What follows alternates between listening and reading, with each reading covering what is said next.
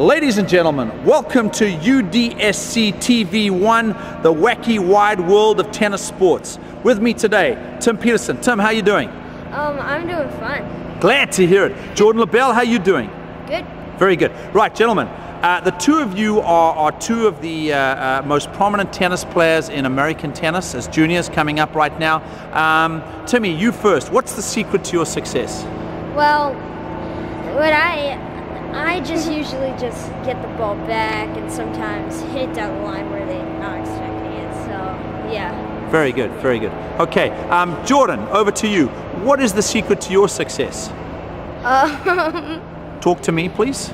I It's not a trick practice question. a lot, Practice a lot. Good. and if I notice I'm doing something wrong, I stick to that for a while. Stick to that. Very good. Very good. Um, Timmy, um, what is the strength of your game right now? Well, I think it's definitely my backhand. I just rip every backhand. I You rip every backhand. Yeah. Very good. Um, tell me about your coach, Mac. Well, I think he's a very nice guy and he's a very helpful coach. Uh huh. Glad to hear it. Um, Jordan, tell me what you're working on on your game right now. Working on my backhand Uh huh. because I'm not dropping it enough Uh huh.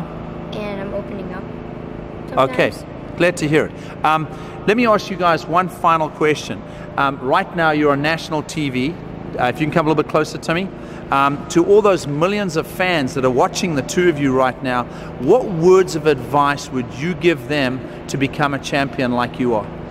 Well, I would just practice, practice, practice. Practice, practice, practice. Yes. Very good. How about you, Jordan? Never give up.